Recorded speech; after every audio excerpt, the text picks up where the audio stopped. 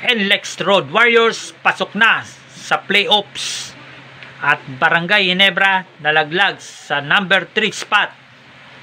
At news sa Barangay Ginebra Justin Brownlee injured. Pero bago mga balitang yan like and subscribe. Ronda Toda para updated po kayo sa aking mga sports balita.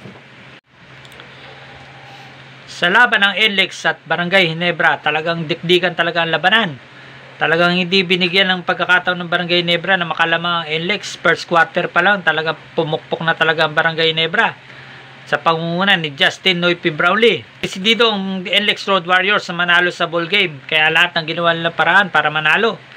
Talaga napakalupit ng bago nilang import na si Juan Jones. Halos puro 4 point play ang ginawa. Halos lamang na Inebra eh. Kaya lang, pag tiniraan ni Juan Jones ng 4 point shot, Talagang dali lang mahabol ng lamang ng Ginebra. Tumutong ang second quarter. Talagang pinangunahan ni Robert Bolick at saka ni Juan Jones ang kalamangan para makausad ang NLEX Road Warriors. Hanggang sa pagdating ng third quarter, binalikat na ni Justin Noype Brownlee. Kaya nahabol ng lamang ng NLEX sa pangunguna ni Justin Noype Brownlee.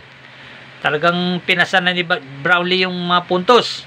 Sa kasamaang palad, pagtungtong ng fourth quarter ay natanggalan pa ng ngipin si Japit Aguilar dahil natamaan ng siko ni Semerad. Talagang napakasakit ang nangyari kay Japit Aguilar. Hindi na malaya natanggal ng ngipin niya kaya very frustrated si Japit. Sa pangunan ni Semerad, halos nakadalawang crucial 3 points si Semerad.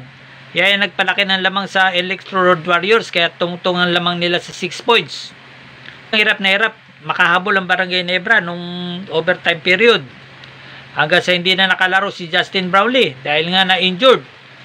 Ang problema, hindi, hindi natin nakita sa replay kung paano na-injury si Justin Brownlee. Bigla na lang sumakit yung tuhod niya hanggang sa inalalaya na siya ng mga ka-teammate niya. Panalo ng LX Road Warriors ay nalaglag na ang Blackwater Bossing. Dahil kung natalo ang LX, Blackwater ang papasok sa top 4. Eh panalo ang LX kaya bye-bye na sa Blackwater bossing. Talagang deserve naman ng NLEX. Talagang maganda yung nilaro nila ngayong gabi sa laban kontra Barangay Nebra. Ganda ng laban ng NLEX Road Warriors at Barangay Nebra. Talagang dikdikan talaga ang labanan. Kasi nga, labanan sa pwesto 1 to. Kaya yung Barangay Nebra gusto ring manalo. Kasi kung malalaglag sila sa number 3 spot, makakalaban nila ang Magnolia Hotshots. Pero kung manalo sila kanina kontra NLEX Road Warriors, makakatapat nila ang Meralco Bulls sa number 2 spot.